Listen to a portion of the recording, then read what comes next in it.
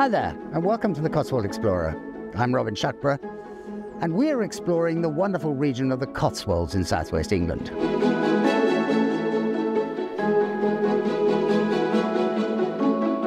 the last couple of years, we've been following in the footsteps of Herbert Evans, who wrote this wonderful book, Highways and Byways in Oxford and the Cotswolds, in 1905.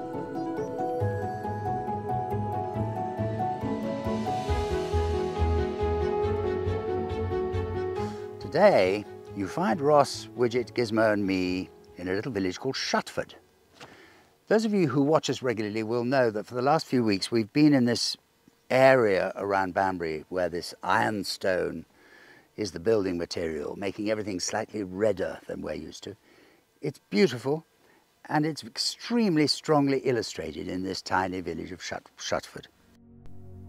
As you enter the village of Shutford, what strikes you first and foremost is the collection of obviously ancient buildings on the steep slope of the hill, which create a roofscape, perhaps more expected in Europe than in England.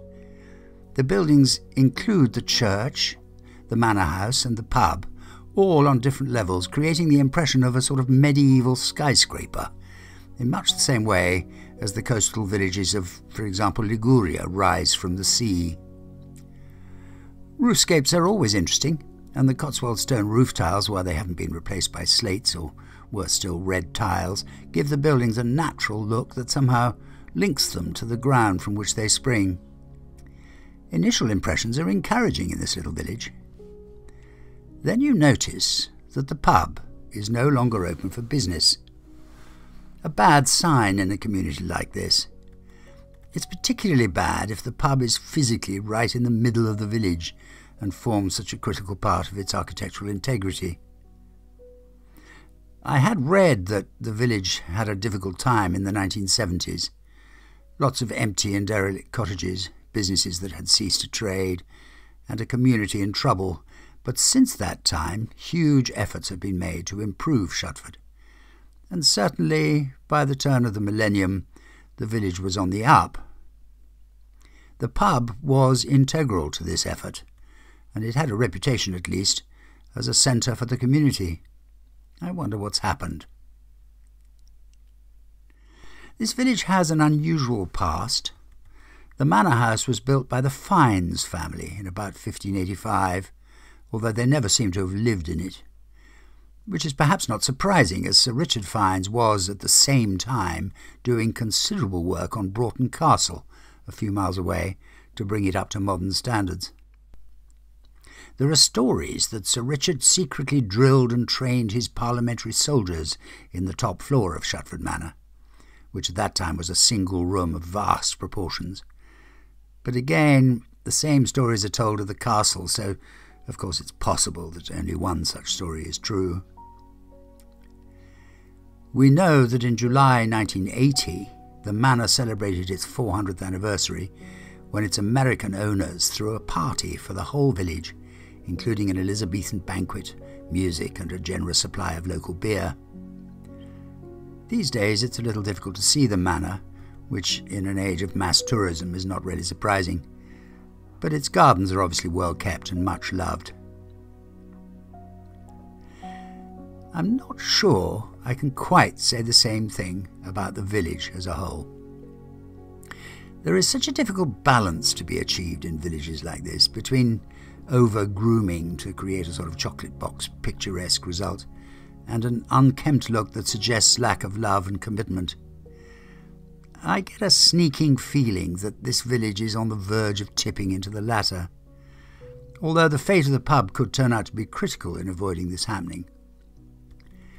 Certainly, Shutford has centuries of experience of coming back from the brink.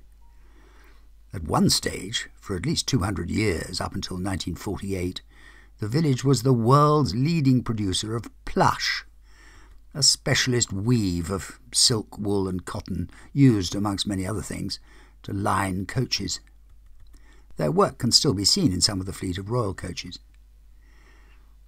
There is little or no sign of this world beating industry left in the village to tell the story. The church is a simple and pretty 12th century church, largely rebuilt in the 14th and 15th centuries.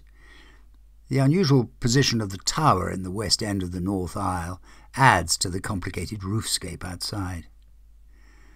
The 13th century chancel arch is pretty, the Norman font, octagonal with blind arches in each face. Its tall pews with poppy heads, and good commandment boards from about the same time on the walls.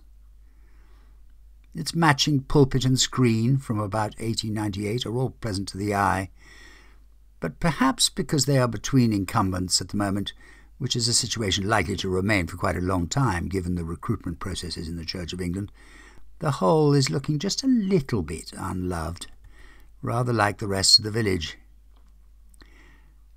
Having said all of that, though, I must underline that the village remains an attractive place to visit, in passing, without too great an expectation, but with hope that the community rallies round and stops any sign of decline in its tracks. I hope you've enjoyed our little trip round Shutford. It is extraordinary, really. We've noticed that this part of the world is very busy on the roads, and so the atmosphere is slightly different to what we're used to, but it is remarkable, and we've enjoyed our trip around the villages in this part of the world. We've got a few more to go. Don't forget to subscribe to the channel. It really helps, and press the little bell motif, because that way we'll always let you know when we produce new stuff.